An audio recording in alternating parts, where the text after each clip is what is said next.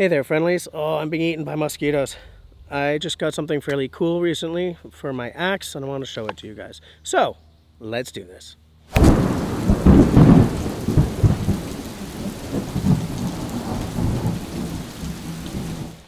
So, those of you who've been watching the live streams will remember that a couple of weeks ago, some of the viewers and I, in fact, uh, Outdoor Dauber, Austin, Simon, my mother, and I put our money together to get Serge a, a, uh, a bushcraft backpack. It's not a bushcraft backpack. It's a, you know, it's sort of a more tactical style bag, but it's a really nice bag.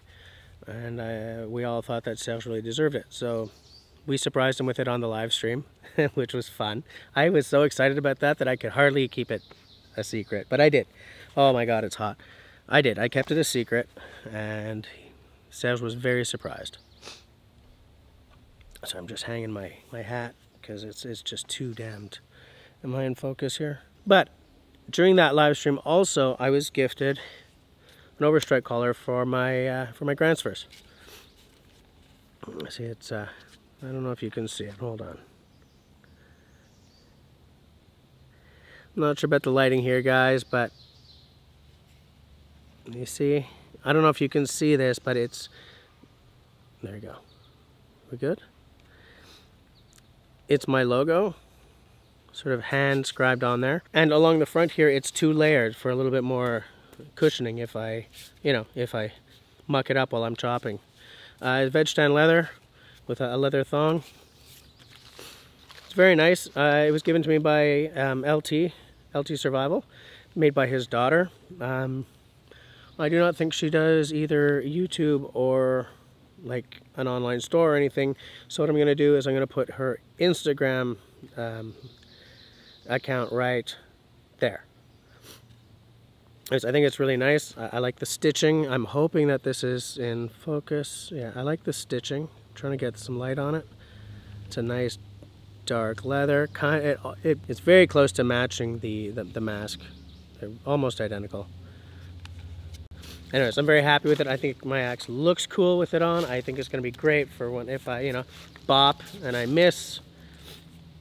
I love the fact that, you know, she did my, my logo by hand. Nice. Thanks, LT. Thank your daughter for me. And once again, I'm going to put her Instagram probably in the show notes below as well. There you go. Can't wait to get it out there and start knocking it around. Look at how, th how thick that leather is. Can you see? Sorry, I just bopped the camera. See how it's got like a two layer thing? It's folded over here before she put the, the holes in. Looks great. Looks fabulous. Really suits my axe. I'm really happy about it. So thanks. Thanks, folks. So I guess that's all she wrote. Thanks for hanging out with me, as I always say. If you like what I'm doing, then please, please get the conversation started down below. Leave me a, a note. Are you all about the, uh, the overstrike guard or do you leave it naked? Do you do the leather? Have you whipped it? You use an old inner tube? Let me know down below. Aside from that, please share the video. That helps me more than you could possibly imagine. And aside from that, if you have not yet subscribed, then please subscribe. If you have subscribed, then hit that little bell and leave me a smiley thumb. If you don't like what I'm doing, leave me a frowny thumb. Thanks for watching, guys waiting.